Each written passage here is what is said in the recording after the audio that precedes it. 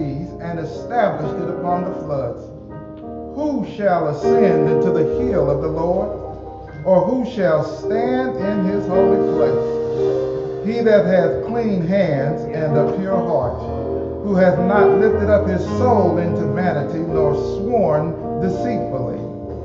He shall receive the blessings from the Lord and righteousness from the God of his salvation. This is the generation of them that seek him, that seek thy face, O Jacob. Lift up your heads, O ye gates, and be ye lifted up, the everlasting doors, for the King of glory shall come in. Father, we thank you again for blessing us to see another day, to see another Lord's Day to wake up and to be in our right minds, clothed with your spirit, O Lord. And Father, we invite your spirit into our respective worship spaces today.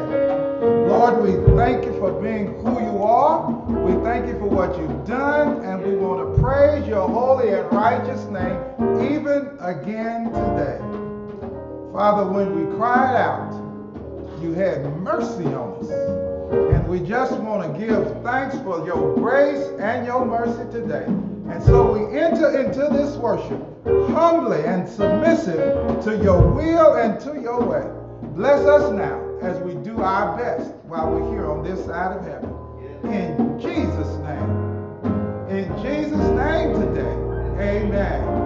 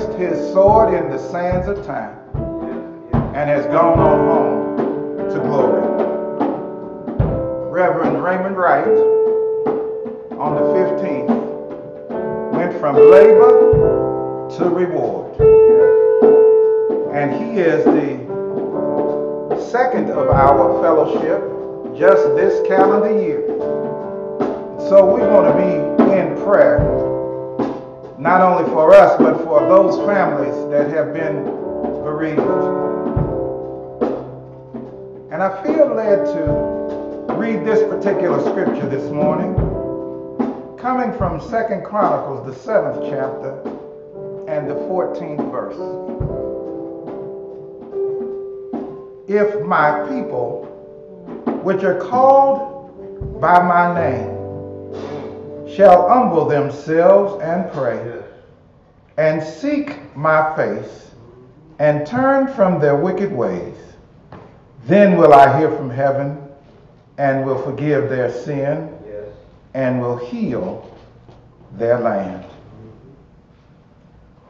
We want to remember not only those two families, but remember Deacon Hayward, who is suffering and bereavement as well. Deacon Samuels. Be in prayer for those who have been in the hospital or currently in the hospital. Sister Rocket was in for surgery on Friday in his home recuperating. Man. Sister Teresa Campbell Thomas is in the hospital. Mm-hmm. Sister Maddie Johnson hospitalized. Sister Strickland was in for a couple of days, but she's back home doing well as well. Be in prayer for Sister Nathan Lane Washington and Sister Barbara Roth, mm-hmm. Sister Anita Pearson and Sister Bobby Johnson. Mm-hmm. I want us to be in prayer for those who I know that are suffering from the virus. That would be Reverend Richard C. Lee. And be in prayer for his wife as well, who just recently had knee surgery. Sister Lois Bowman and her sister Jamesetta. Brother Freddie Hammonds. Mm and just some others that I know of that I want us to add to our prayer list because prayer is powerful and prayer yes, changes yes, things. Yes, Sister Christy Lewis's son, mm-hmm. be in prayer for him. Mm-hmm. Be in prayer for Pastor B.G. Roberson of the Corinthian Baptist Church who is at home but suffering from the virus. Mm-hmm. Pastor Lewis Mendoza as well continued prayer for Brother A.J. Ford, Brother Washane Murphy, Brother Anthony Ford as well.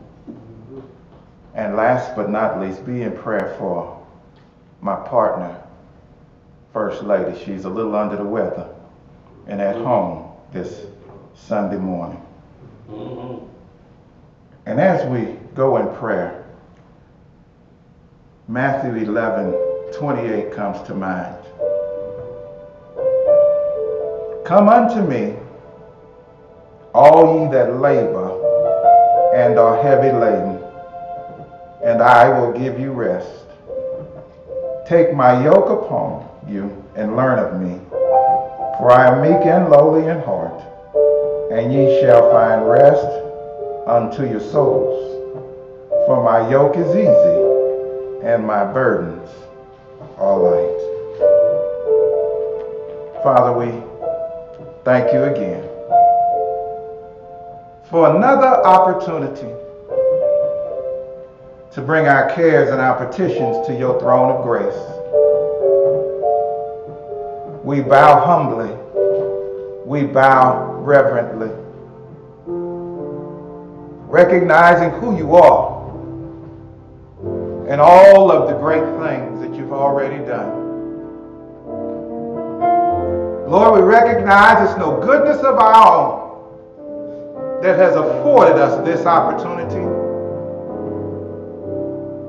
but your infinite grace, your mercy, your everlasting mercy has given us another chance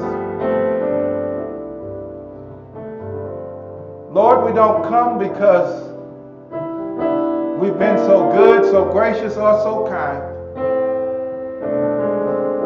But become because you first loved us, gave your life as a substitutionary sacrifice that we might be in relationship. Lord, we come this morning thanking you for our salvation. Thanking you for picking us up when we could not carry ourselves. Father, you're a magnificent, a marvelous, a majestic God. One who sits high and looks low. But even in all of your majesty, you still care about us individually. And Lord, you care about what's going on in our individual lives. You care about my hurts and my pains, my afflictions. And Lord, today we come asking see about us. Heal our broken hearts. Mend our broken bodies. And even more than that, Lord, bind up our fractured relationships. Lord, we come today because there's no other help we know. When we look, we look to the hills from which cometh our help. It comes from thee and thee alone. Lord, when I cried, you heard me. Thank you for hearing us, O Lord, even again this day. Father, for those who are suffering bereavement, we pray your blessings, that you would fill that empty void,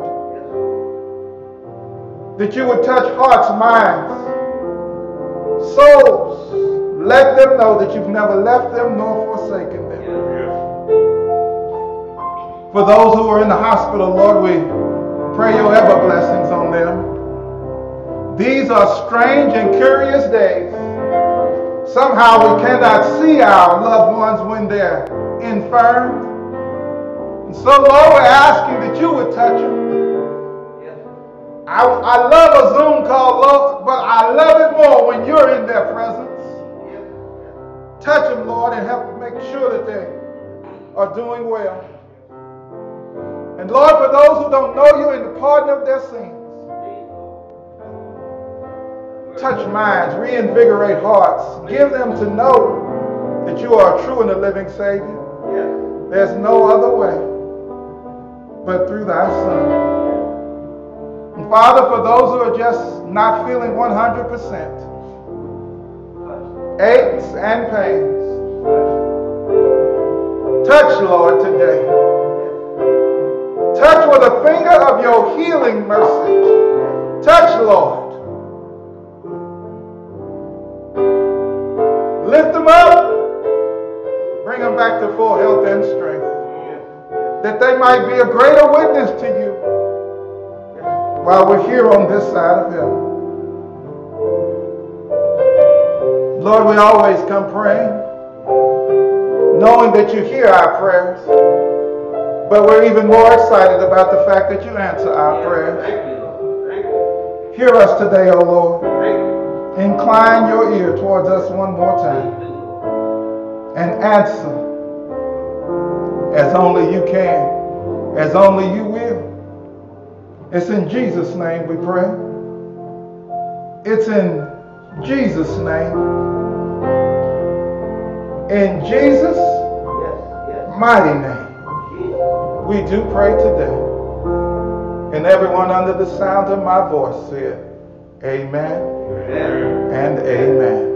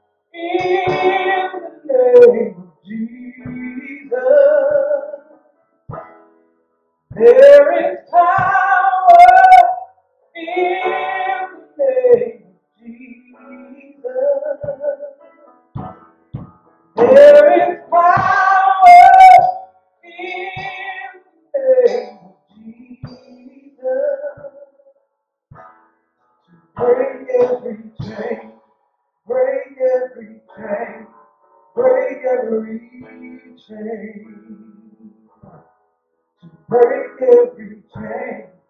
Break every chain. Break every chain. Death for me.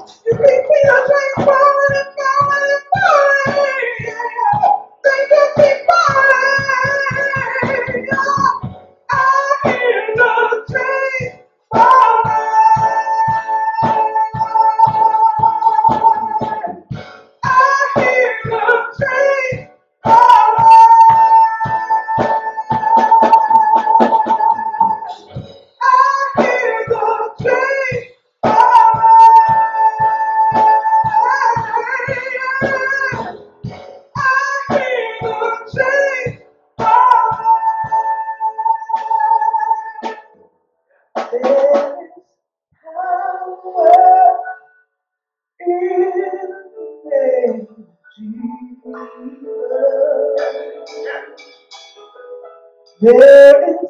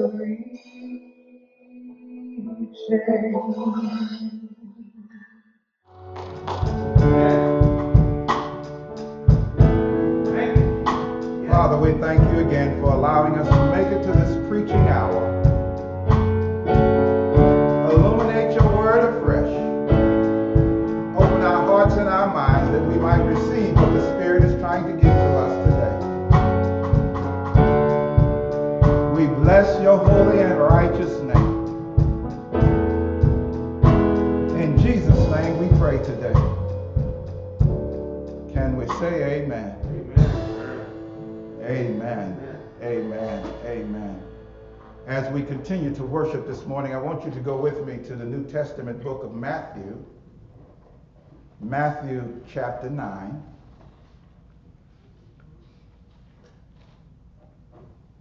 First book in the New Testament, Matthew chapter 9. And I would that you would hear these words from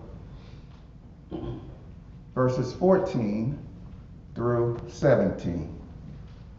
Matthew chapter 9, verses 14 through 17, coming from the King James Version.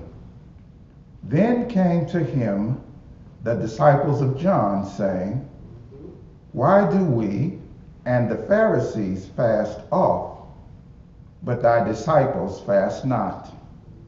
And Jesus said unto them, Can the children of the bride chamber mourn as long as the bridegroom is with them? But the days will come when the bridegroom shall be taken from them, and then shall they fast. No man putteth a piece of new cloth into an old garment, for that which is put in to fill it up taketh from the garment, and the rent is made worse. Hmm. Neither do men put new wine into old bottles, else the bottles break, and the wine runneth out, and the bottles perish. But they put new wine into new bottles, and both are preserved. Hmm. Interesting text this morning. If I could, I'd like to talk to us from the subject old clothes and new skins. Hmm. Old clothes and new skins. We find ourselves here at the start of a new calendar year. And as with so many other years, so many of us have made promises to ourselves. Yes. Let me start with the easy ones. I'm going to eat better. Mm-hmm. I'm going to exercise more often. Let me move to something a little more difficult. I'm going to save money. Yes, Jesus.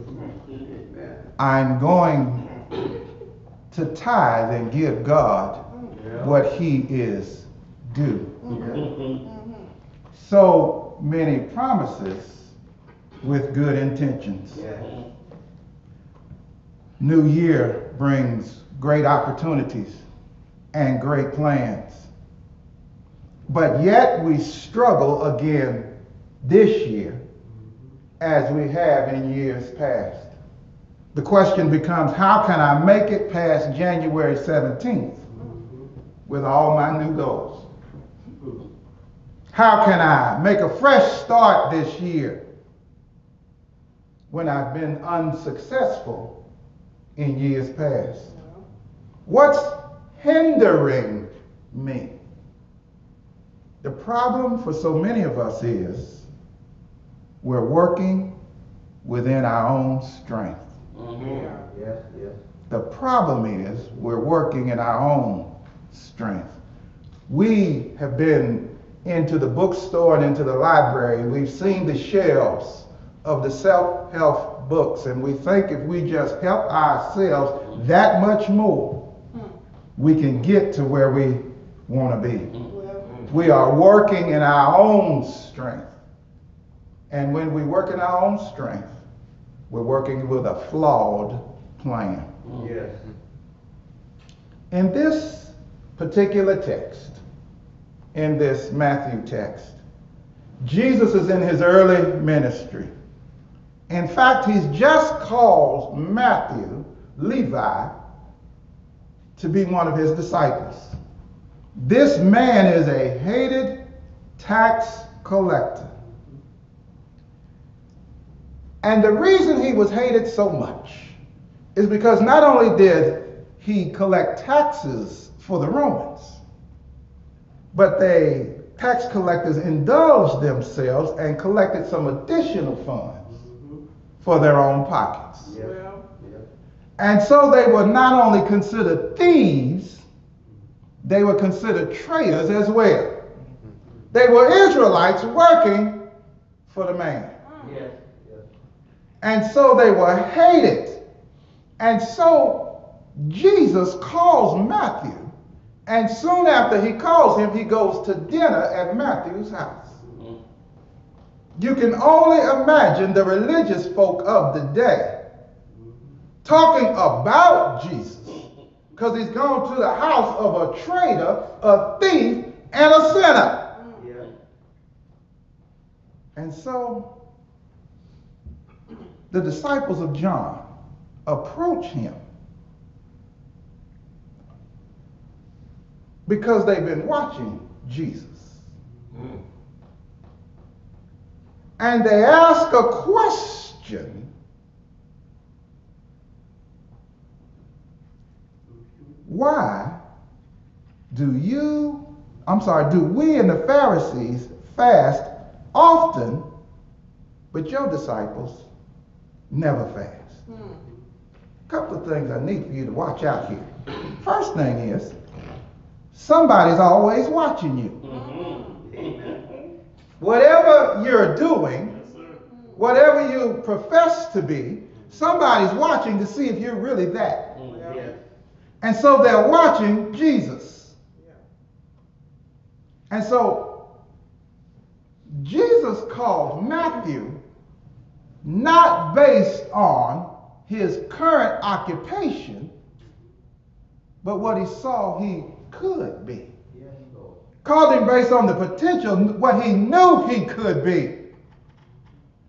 So when Jesus calls us, from whatever we're in, from whatever we're doing, he does it because we can be successful. All right. And he knows we can be successful. Thank you. Yes. In this new year, I'm praying that each one of us can be successful. There's so many of us who are excited about trying to see 2020 put behind us. We're rushing to get there, rushing to get into 2021. Not merely because of the events that are taking place in our country, but because of some struggles and some strains that we had in our own personal lives. right. It's just some stuff I needed to get past. Yeah. And I wish the change of the calendar would make it better. Yes, 2020 is gone. But the first seven days of 2021 have shown us mm-hmm. just because it's a brand new year mm-hmm. doesn't mean that we don't have some old problems. Yes. All right. Amen. And so there's several things in this text I need for you to, to, to, to grasp, to hold on to, that are going to assist us, that are going to be invaluable for us making it in this new year. First thing I want you to look at in this text is the traditions. Mhm. John had been taken away and was probably in prison. His disciples continued as a distinct entity. Look at that text. The disciples of John came to Jesus. They, they hung together even though their leader had been imprisoned. And so this group of believers comes to Jesus with that question I just raised. How is it that we, John's disciples, and the Pharisees and their disciples, we're doing all of this fasting, and those who following you ain't fasting. Mm-hmm. So, before I go any further, let's talk fasting for just a minute. Fasting is a practice of self denial, of abstinence, mostly from foods. And with the loss of our appetite, fasting is usually accompanied or associated with grief. Mm-hmm. It's natural to associate fasting with grief and sorrow because of the hunger that we feel. Mm-hmm. So fasting is associated with mourning. I know some of y'all are going to try to check me on this. Go to 1 Samuel chapter 31. Start with verse 13 and go on to chapter uh, 23 as well. Verse 23. So fasting is also associated with trying to gain favor from God. See, we fast and we pray to get closer to the Almighty God. Mm-hmm. In the Mosaic Law in Leviticus 16, there was one time that we were appointed to fast. It was on the Day of Atonement, Leviticus 16 29. Jump on over to verse 31 as well. And so we know that we are only supposed to fast once a year by the law. By the time we get to this text in Matthew in the New Testament, we can see that the Pharisees are fasting twice a week. And here, watch this. The tradition was that men would put on sackcloth and put ashes on their head and walk barefoot when they were fasting to, to, to associate being in mourning, yes, yes. to draw themselves closer to God. And the struggles for John's disciple is this. How is it that the Pharisees, who Jesus talked about, are fasting? And we're fasting, John's disciples, we're fasting, and we think we're getting it right. But yet, y'all ain't fasting. Go to Matthew chapter 6, if you will. Jesus, in the Sermon on the Mount, denounced the practice of the Pharisees because they were fasting for show. As an external show, an outward display, and never changing or disciplining their hearts and souls. So when they came to ask Jesus about fasting, the question never really was about fasting. The question is, how come you not doing what the rest of us is doing? How come you not following the customs of the day? Why you not walking in our traditions? And people will denigrate you based on traditions. You know you're supposed to. Mm, Mm-hmm. We've always done it that way. Mm-hmm. And so here is Jesus in a situation understanding that it's not about fasting. And so he says,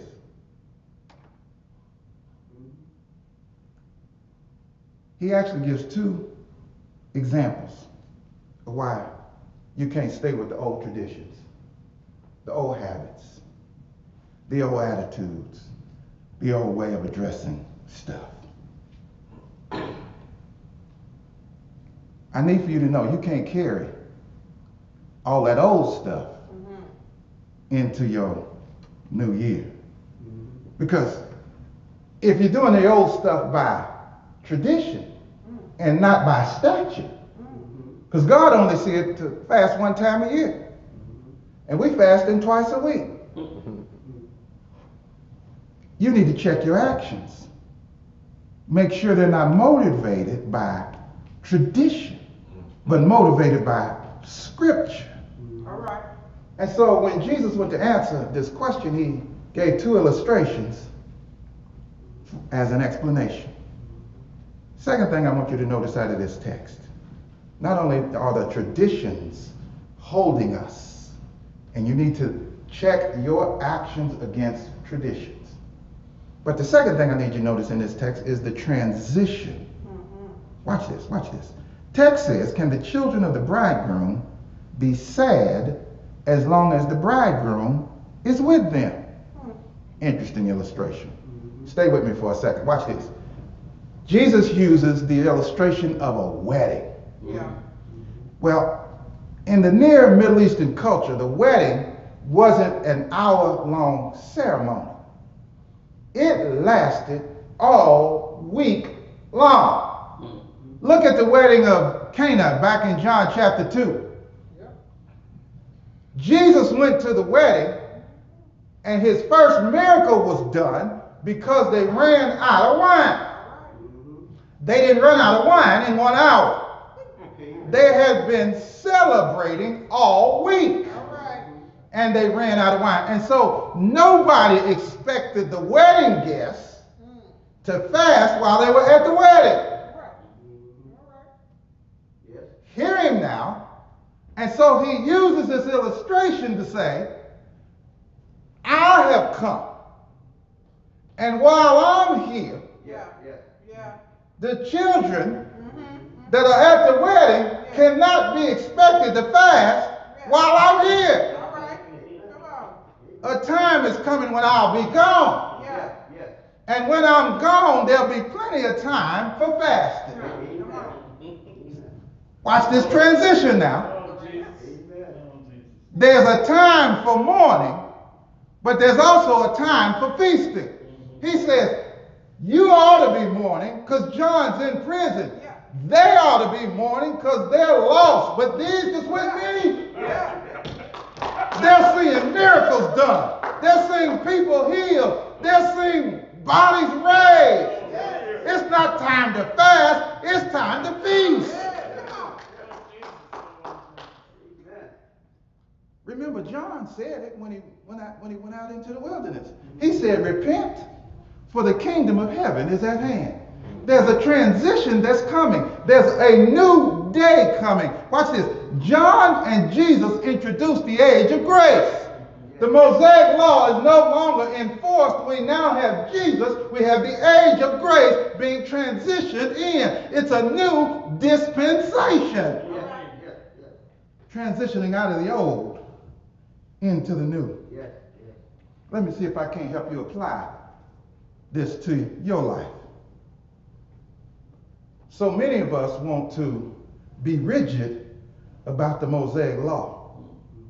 Here's what I want you to know there's not enough works that you can do to get yourself into heaven. Yes. There's not enough things that you can do. There's not enough chores that you can do to have satisfaction for salvation. Only by the grace of our Lord and our Savior Jesus can you get into heaven. The old traditions won't get you into heaven. And so you need to pay attention to what the traditions were, but you need to understand that there has been a transition that's taken place. Works won't do it. We cannot have a works based salvation. It's Jesus and Jesus alone, Him and Him only. John 14 tells us Jesus is the way, the truth, and the life. No man can come to the Father but by Him. Right. Yes. Amen. I don't care how many self-help books you buy, whether you get them out of the library and take them back, or whether you spend some money and get them. There's not enough of them. You cannot get to heaven in your own strength right. Until you have an encounter with Jesus. You're fighting a losing battle. Yeah. We must make the change. You've got to make that transition not by works, but by grace. Yeah.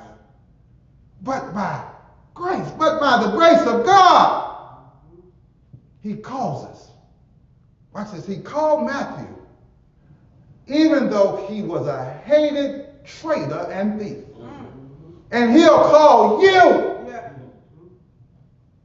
But you've got to make the transition. Matthew made the transition. Matthew said, Here, Jesus, I want you to talk to all the fellows I know. Change them like you changed me. Because it was by his grace. Third thing I want you to notice in this text is the transformation. All right. Look right here in the text in verse 16 and 17. It says, Nobody puts a patch on clothes with an unshrunk cloth.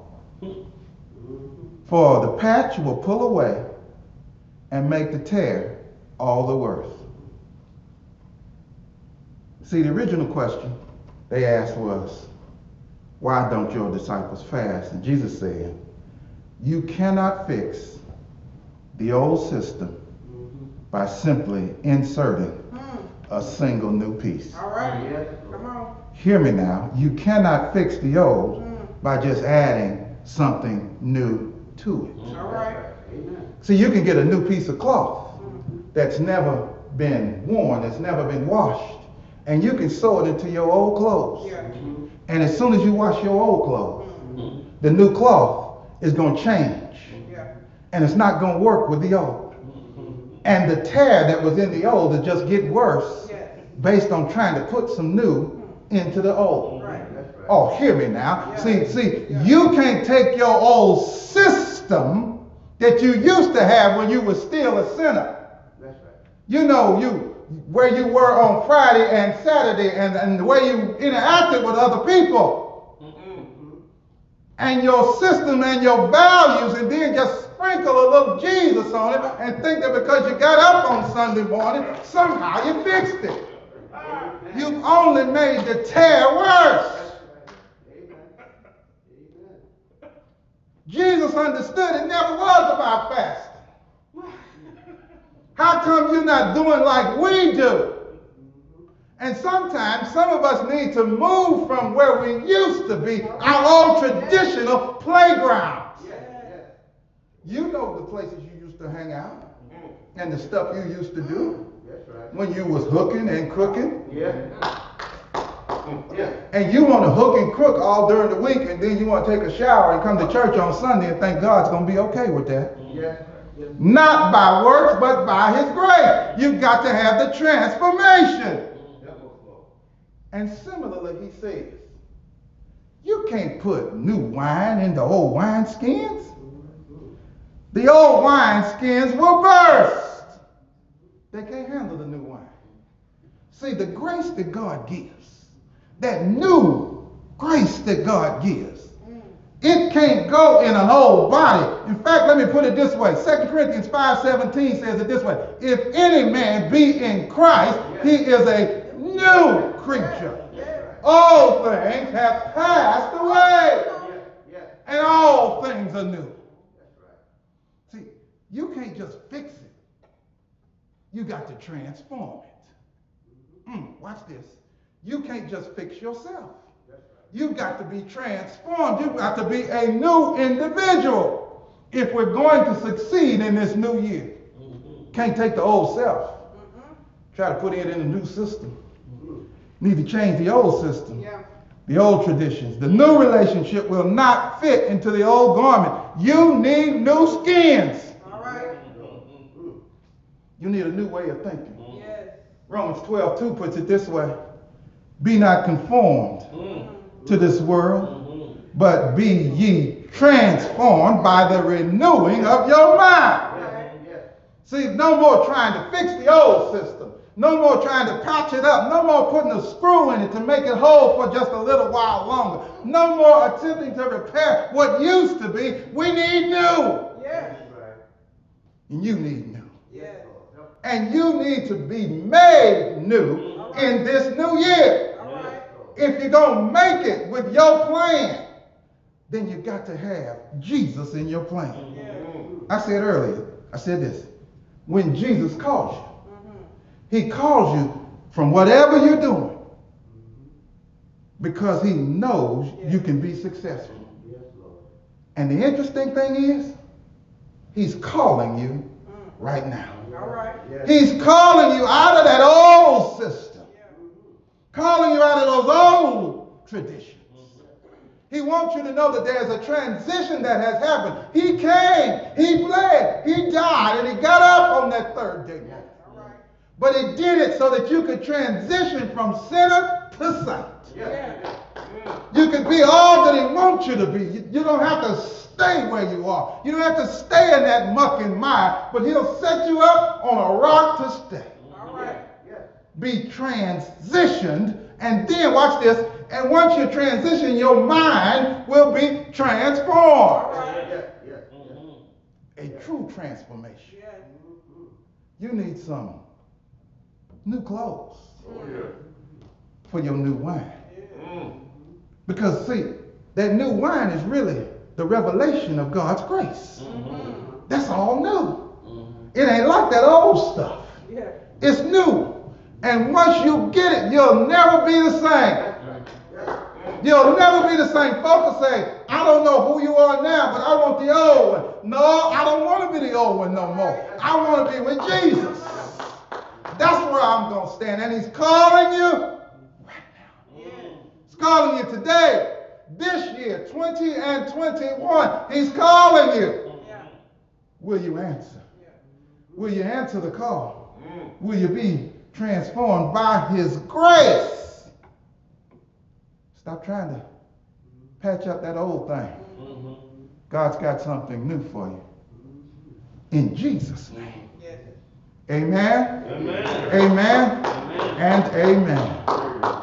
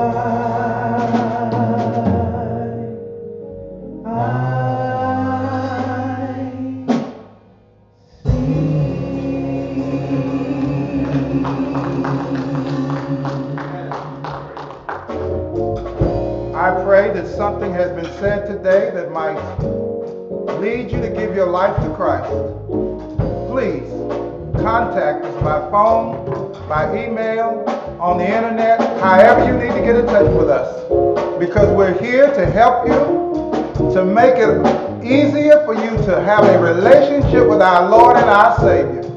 And we love you just like He loves you. And we want you to be saved, sanctified, and filled with the Spirit.